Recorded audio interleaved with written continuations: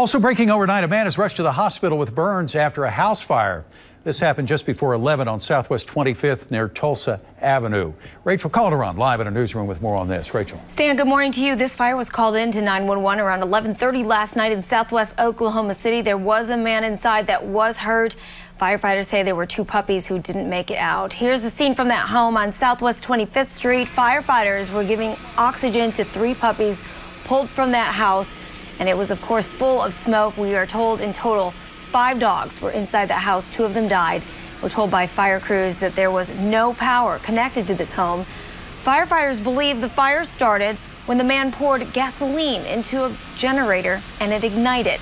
That man was taken to the hospital for smoke inhalation and burns.